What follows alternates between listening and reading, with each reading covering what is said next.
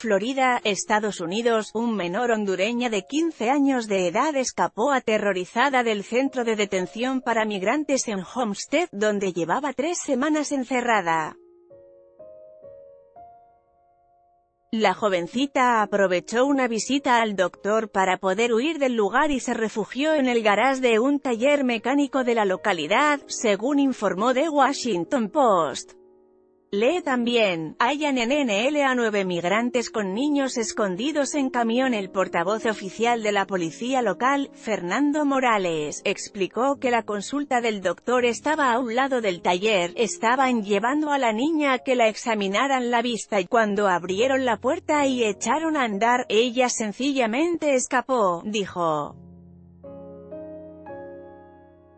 Lee también, España rescata a 123 migrantes en el estrecho de Gibraltar. El dueño del establecimiento señaló que la menor llegó corriendo y llorando de las calles y se escondió en una esquina, detrás de una enorme estantería de herramientas. Estaba muy asustada, no dejaba de repetir que no quería regresar. Uno de los mecánicos dijo que le ofrecían agua y algo de comida, pero ella no salió de su esquina en ningún momento. El dueño del taller llamó a su hermana, quien a su vez avisó a una asociación que ayuda a familias migrantes.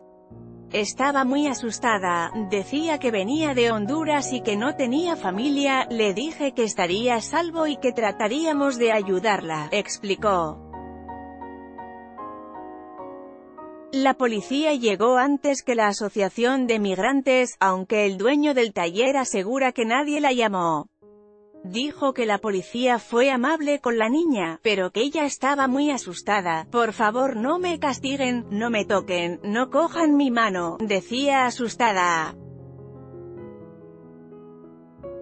Aún así, la esposaron y la llevaron de regreso al centro, donde el Departamento de Salud se hizo cargo de ella.